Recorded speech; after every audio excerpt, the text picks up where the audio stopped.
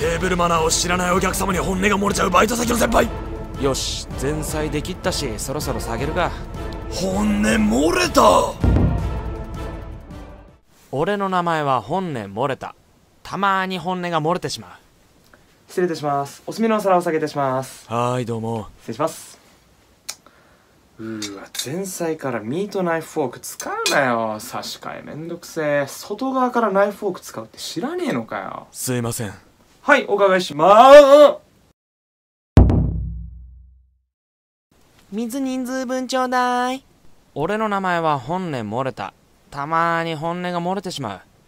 今まさに本音を我慢しているところだ。かしこまりました。ありがとうございました。ありがとうございました。またお願いします。うわ水全然減ってねえじゃん。言わんこっちゃね危ない忘れ物しちゃった。だからラストオーダーあなたの水屋なんだよ。ピッチャーにすりゃよかった。これグラス片すのめっちゃめんどくさいし。え？え？